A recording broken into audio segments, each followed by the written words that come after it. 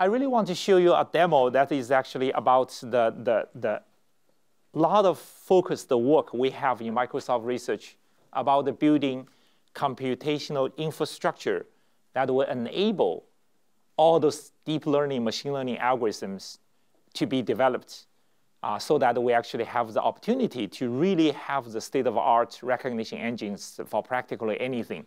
So to help me out, I'm going to have my colleague Johnson to come up to the stage and uh, talk about it. Johnson. Thank you, Harry. Today, I'd like to showcase you the app that Javier built by using it on actual live dogs, just to delight you.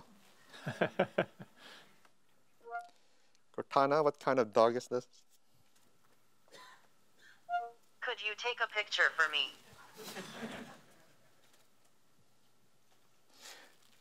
Anyone care to guess what breed of dog this is? Ridgeback? Let's see if uh, Cortana agrees with you.